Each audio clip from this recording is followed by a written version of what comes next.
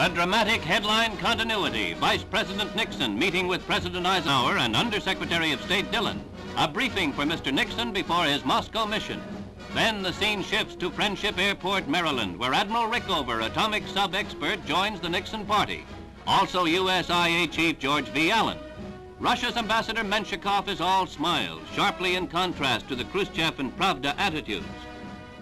Three Russian airmen board the Nixon jet to assist in the Moscow landing, a reciprocal gesture. Opening the American National Exhibition during an 11-day tour, Mr. Nixon is expected to have hard-hitting talks with Soviet Premier Khrushchev. He says, uh, We're looking forward to our visit there with Mr. Khrushchev, uh, with other leaders of the Soviet Union, and also we welcome the opportunity to talk to people in all walks of life.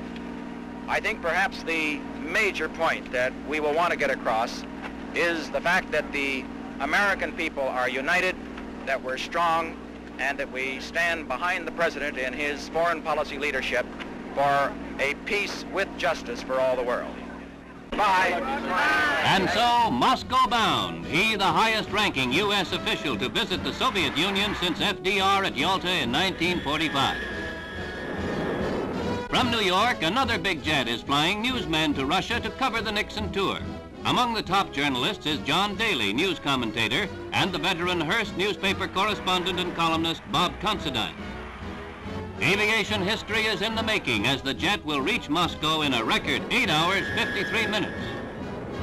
And here's the site of the fair. U.S. Ambassador Llewellyn Thompson and Exhibit General Manager Harold C. McClellan make a preview inspection during the last-minute scramble to get the Moscow show ready. Here, where the aim is to project a realistic and credible image of America to the Soviets through exhibits, an electronic brain is prepared to answer thousands of questions about us in Russian.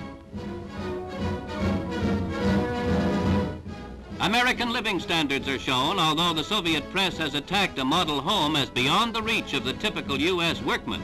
But the show will go on, and News of the Day will bring it all to this theater screen.